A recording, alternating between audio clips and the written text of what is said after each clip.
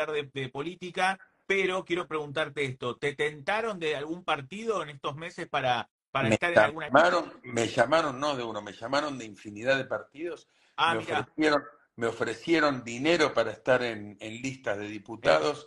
Me ofrecieron... Alfa, ¿cuánto dinero te ofrecieron? En su momento me ofrecieron 80 mil dólares para estar en una lista. ¿En serio me decís? Nada más que una lista testimonial, porque yo arrastraba gente.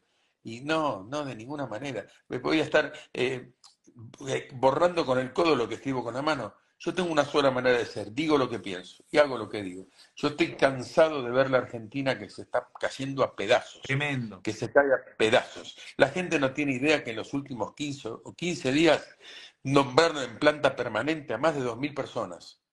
¿Qué significa eso? Como me voy, te nombro con un puesto permanente, los que estaban contratados, y quedas ya enganchado para siempre como estatal.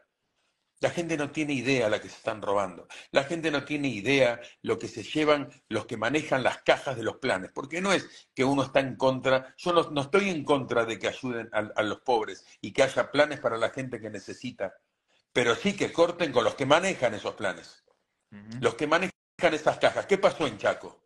¿Cómo puede ser un tipo que es puntero político le entra en la casa y le encuentran 6 millones de pesos en efectivo, hermano? Que si tiene 6 millones arriba en la mesa tirado, imagínate la que manejan. ¿Cómo puede ser el plantel de autos que tenían? ¿Cómo puede ser la cantidad de propiedades que tenían? Y estamos hablando de una familia en Chaco, una, una familia, y en el Chaco, en el Chaco, cuando estamos diciendo que el Chaco es una provincia pobre. ¿Cómo mm. puede ser que el país siga así? Sí. ¿Por qué?